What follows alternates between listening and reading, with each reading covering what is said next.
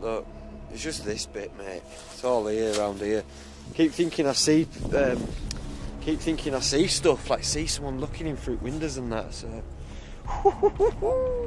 I think this is only time I've been like I rarely get scared, mate, but there is some. There's some. There's some in air. I'll tell you that for now. Right, come on.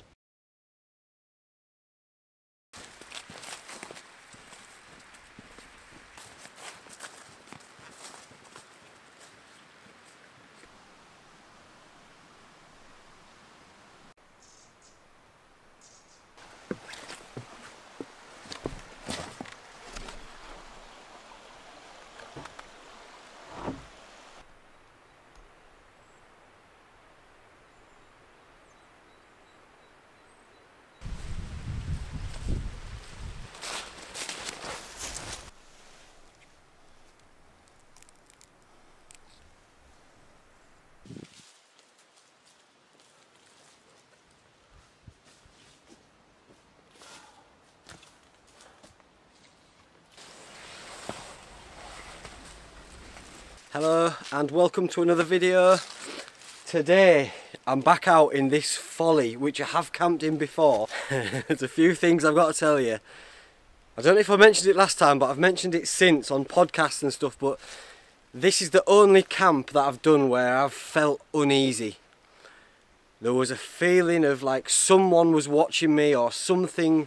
There was just bad juju something in the air. I have thought about it a lot since. It looks creepy, doesn't it, to begin with? And it looks man-made, so am I used to just normally staying out in the woods and not seeing anything man-made? And when I'm seeing this man-made structure, is that making my mind wander onto other humans? And is that changing the way I feel and the ambience of the place?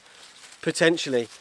If you want to go down the... If you, if you want to take the red pill, you can believe that. If you want to take the blue pill, we can believe that stone, and this is for all you hippies out there, things like stone can capture energy, capture echoes almost of times gone by in it. And has something terrible gone down here and is it captured to echo into eternity in these stones? Not eternity until the stones give way. And speaking of giving way, there used to be a big chimney on here. I came in the winter and I lit my fire in here and a load of butterflies came out so I'm not going to light a fire this time in here because it traumatised me, mate. There's butterflies. Get out, mate. Get out. Get out, guys. Come on. The butterfly whisperer. See you later, mate. Good luck. Brought my bush box so we can have a bush box fire. But come and have a look at this. There is said chimney, look. That would have been a bad day in office, wouldn't it? If that had come tumbling down on me, a very bad day in office. Where it's come down, it's absolutely chin this tree. I mean, it was always leaning that way, so I always thought if it did go, it would go that way, and it has. But, you know, you could have been walking around there, or just, it could have come that way, who knows. Uh, I mean, word of warning, if you're going to come and, and spend time in these old follies and castles and things like that, do be aware, just like you are with your widow makers and like with your trees that could potentially drop limbs on you. Same applies for things like chimneys. Because a chimney, chimney, chimno, chimno more. Game over. And it's a really embarrassing way to go, isn't it? How did he die? Chimney. Fell on his head. Not for me. That's not how I, that's not how I see Marcel going out, mate. Chimney to bonts. But this is it anyway. There's a nice bit of ground here and that's where I'll pitch my tent and I'll just spend the evening in the folly and uh, see if I can just see if I can feel them them negative vibes again see if I see if I get scared again see if I feel uneasy. It has plagued me since last time. I've, I do not know whether I've just over egged it or whatever in my mind but I'm keen to see if them feelings are still there and, and if and if I'm still a little bit a little bit wary of it. Oh, woodpecker. Uh, gone right, let's get some cooking done. Get a fire going.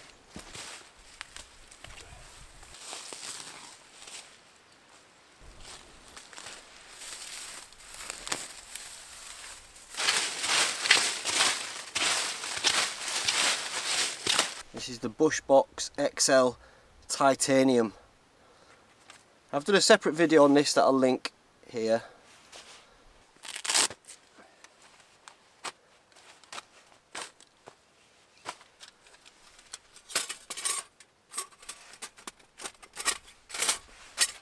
It done. Very quick, very easy to set up. You can just contain it in there. It has two two of these uh, trivets on the back. Look at the colour of that, mate. Beautiful. And then these trivets just go on here. It gives the whole thing a bit of rigidity. There. Keeps it rigid and it, you're, you're able to then put your, your pots and pans on the top a lot easier.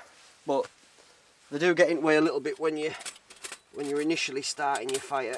So we'll get that out of there. Fucking chatty man. I bet that's all over my face. Let's have a look.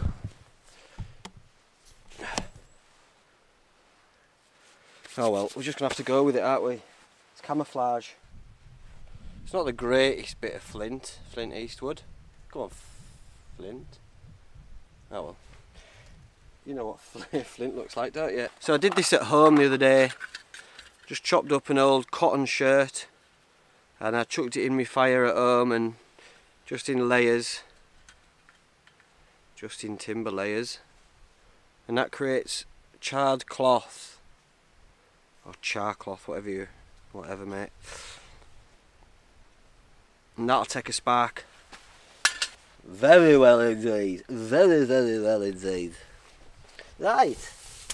And then got some of this that's luckily which is just a bit of Michaela Bracken and it looks to be to my eyes a bit it's nice and dry. And so you can rub it together in the middle just to create a lot of finer material that'll uh, that'll, that'll likely catch more better whatever. And make a little delve boy little nest in there. I like to do it at the bottom of my nest because then once you once you're doing this it catches and the flame instinctively travels upwards and that's something to do with science I believe.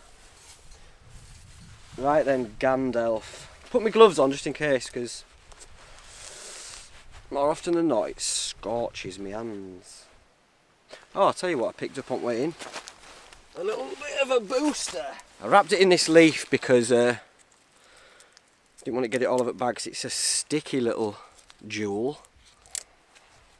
Oh, and it doesn't half smell beautiful. And that's pure resin, is that? Absolutely. Uh, smells delicious. Absolutely delicious. Ooh. Be a shame actually to to use that.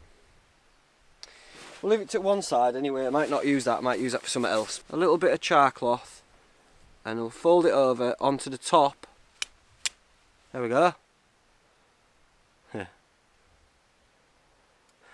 So that'll that's taken now, so that'll travel all the way through there with no with no danger. Gloves on. not much haste, is there? Haste outdoors.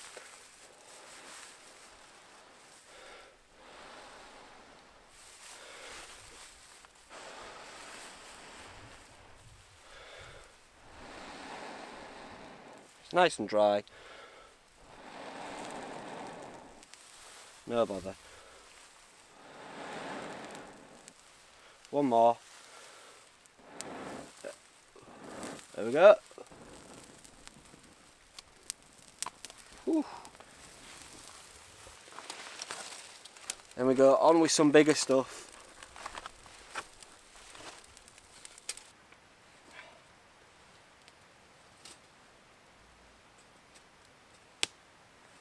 Knife check today.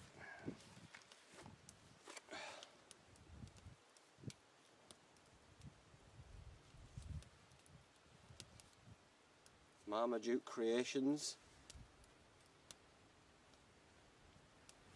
A beautiful, beautifully crafted blade.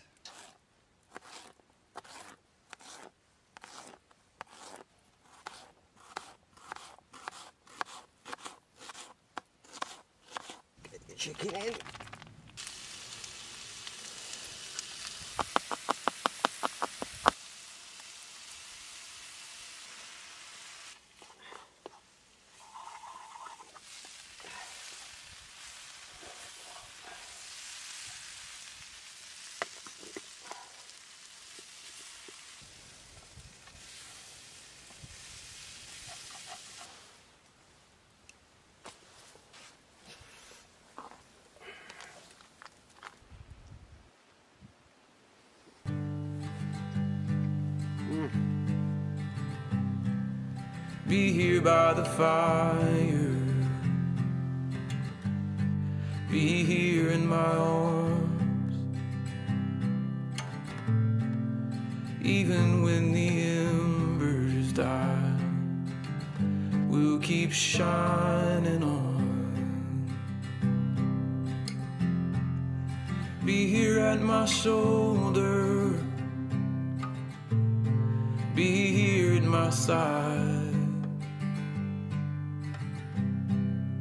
Be here when the cold night falls and in the morning light. Be here when the cold night falls and in the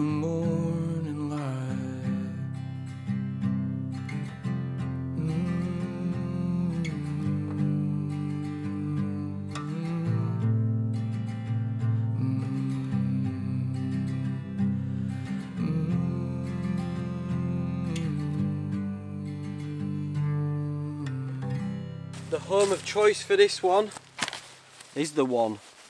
The Gossamer Gear The One. Which is a hiking pole tent. So I've brought my poles. I could have cut down some timber but I like to have my hiking poles because I know exactly how, how tall it is for the optimum pitch. I've put this up in all sorts mate. I've banged it up in, uh, well I took it down and put it back up in gale force conditions and it was alright. Not bad at all, quite confident with it. It's, uh, it's pretty simple.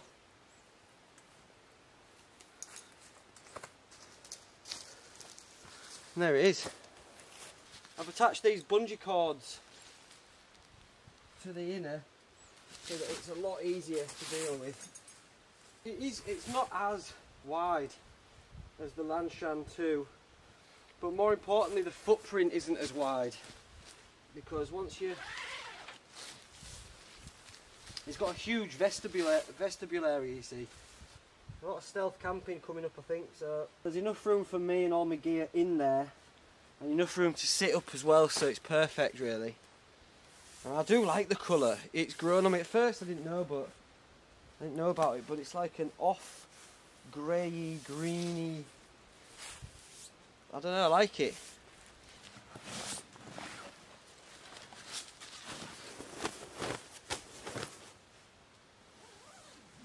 Same shiz, different diz.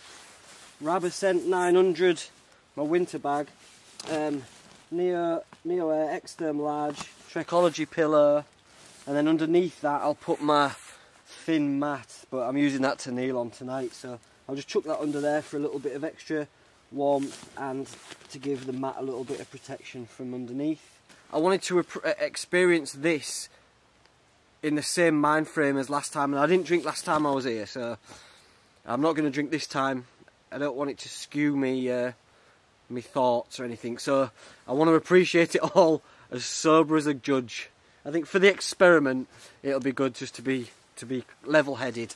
Been a while, hasn't it, since we've had a little play with catties. So might have a little go with this actually now.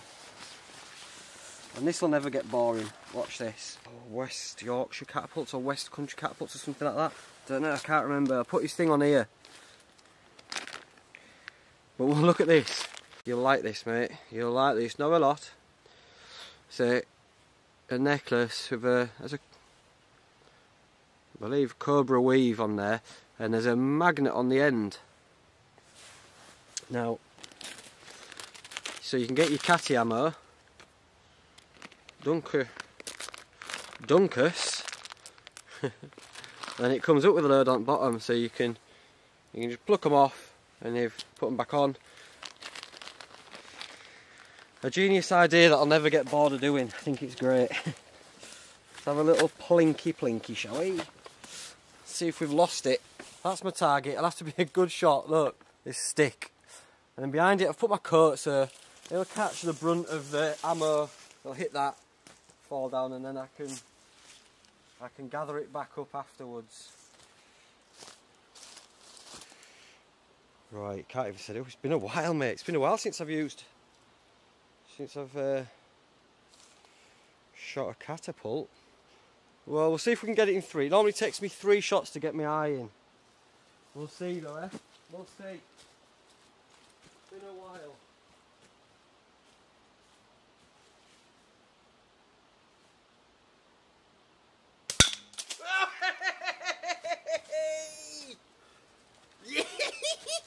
Are you having that? Oh, mate, eh? I mean,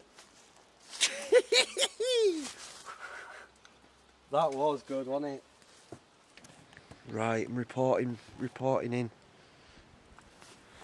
And I tell you what, mate, it's these windows that I've figured it out is why it's scary. So, I've just been chilling. I've, the fire's gone out, um, and the clouds. It's clouded over, but the sky has been great. The moon's been amazing. Hopefully, I captured some pretty good uh, night shots that I'll show you. I'll show you soon. But it's this, mate. Can you see? Can you look at that? I mean, it makes it even scarier, doesn't it? With how, how, what I can, uh, there. Look at it. It's that. It's the. It's these windows that make it freaky. You just feel like you're being watched. There's a there's a real creepy vibe. I thought, oh, I'll come out again and it won't be like that, but it really is creepy. Um, look, it's just this bit, mate. It's all here around here. Keep thinking I see, um, keep thinking I see stuff like see someone looking in through windows and that. So.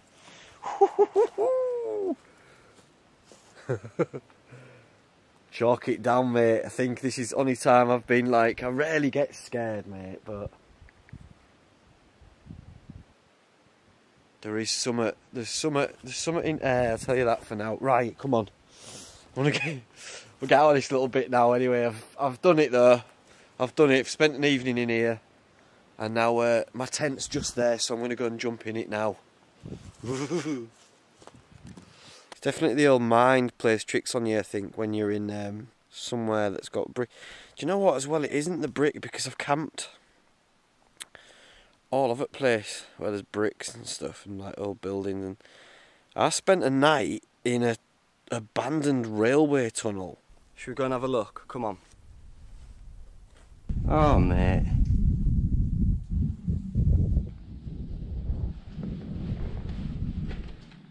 Steve's carrot just never goes down. Imagine if I woke up and he'd finished his carrot. And I didn't get this sort of vibe, like energy. I sound. You can't say it without sounding like a raging hippie, but. There's there was something there's something up here. There's something at this folly that something's happened or something. God, whether it's just me, I've just got this like it's in my head.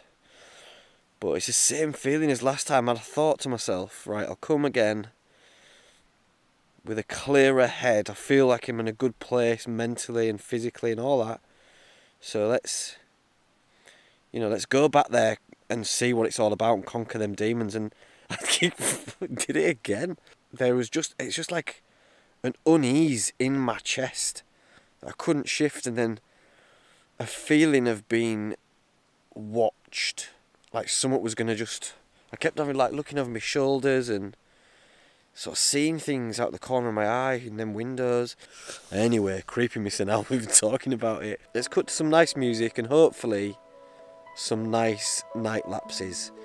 And unless something magic or tragic happens, I shall see thee on the morrow.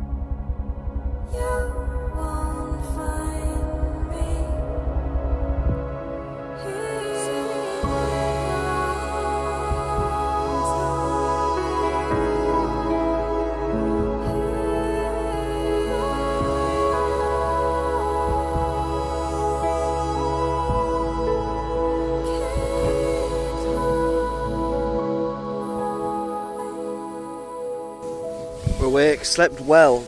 I kept the uh, door tied up to there, and so let's have a look. Look, yeah, tied it up there. Loads of space and loads of airflow through here. Right, let's get up and head out of here then.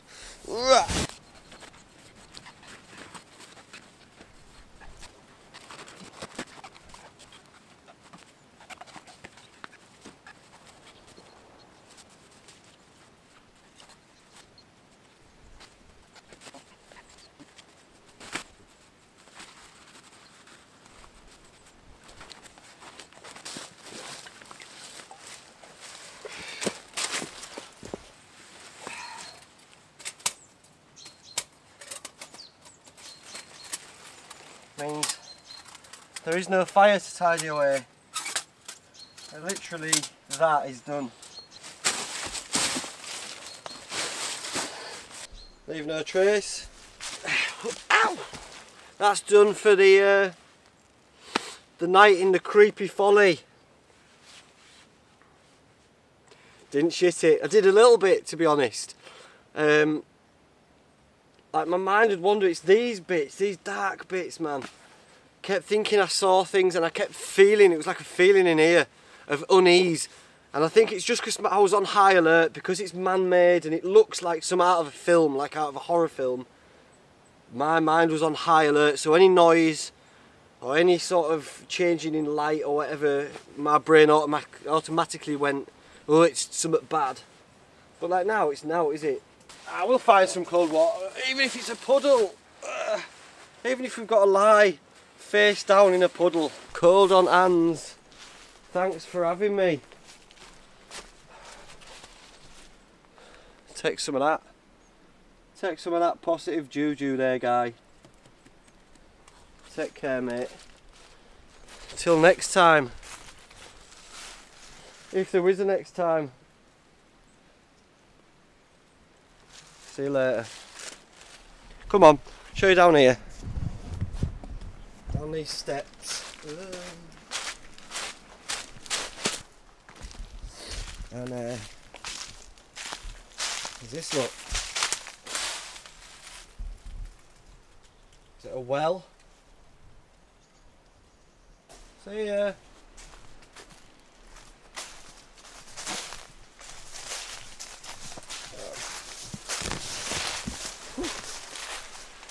That beauty. Beauty. Now we'll go find some water. I'll do one of these ones, eh? Here we are. Right, I found some soup. Looks kind of deep enough at the back of there, but little ding dang do. Let's get in and let's go plunge this plum. plunge the old plum. It's cold, it's cold. It's cold, mate.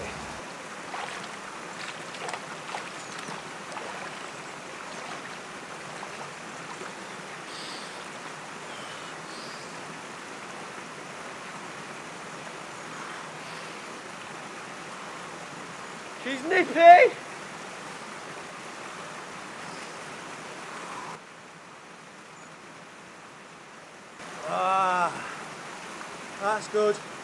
We'll get head under. Ah.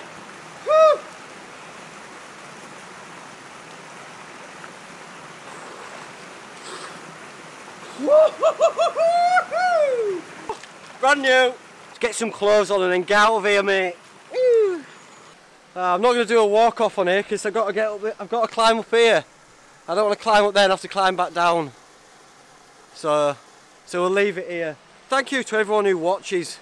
I really do appreciate it. And I appreciate all the comments and messages. I try and um, read them all, but replying to them is impossible. But I do appreciate it, and I, uh, I feel it. And thank you. And it's right back at you. Much love. Take care of yourselves. I'll see you soon. Bye for now.